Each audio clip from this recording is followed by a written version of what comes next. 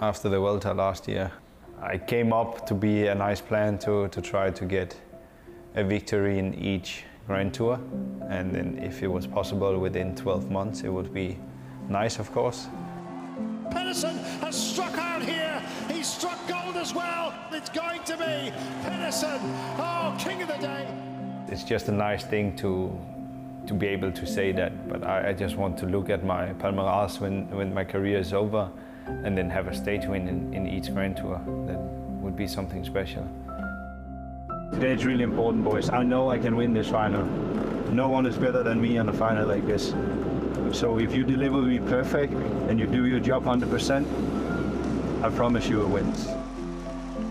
Before the Giro started, Pedersen and I made a bet with not shaving his mustache until he won a stage in Italy.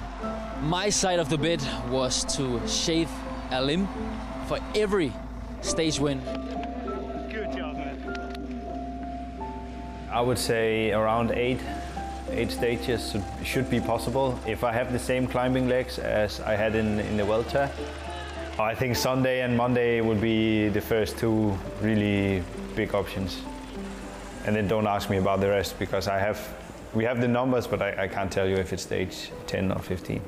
It's Milan through the centre. There's Groves on the left-hand side. Decker's sitting in the front as well, but Milan's keeping it. Milan's going all the way, and Jonathan Milan is the winner of stage two for Bahrain victorious. The big name sprinters in the world were going at it. Most of all, I'm really happy that everybody is still in the bus because it was nasty and a really dangerous crash. And I hope Dan uh, will be okay for the rest of the Giro. But of course, it was a reward for the work we did. But today we do the same and we will get double the reward. It's time to go, but you have to go at the right time. It's Michael Matthews staying at the front. Michael Matthews has it.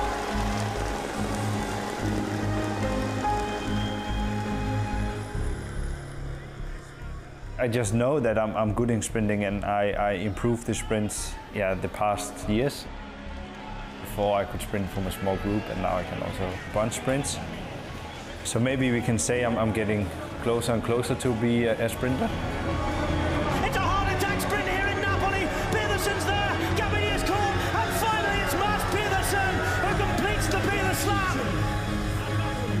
And finally, after trying and controlling, it's now Mads Pedersen who has ticked off the boxes at all of the Grand Tours. Also happy to shave your mustache later. I start to like it actually. Maybe I keep it. We will see tomorrow. Mads Pedersen finally got his Giro d'Italia stage win, and he kept his word. I had no choice. It was really it was important to to make up the points I, I lost yesterday. So it was in general a good day, and I just heard Tom Tom's finish second. So yeah, it was it was a decent day. It was nice to find the climbing legs as well. So that was good.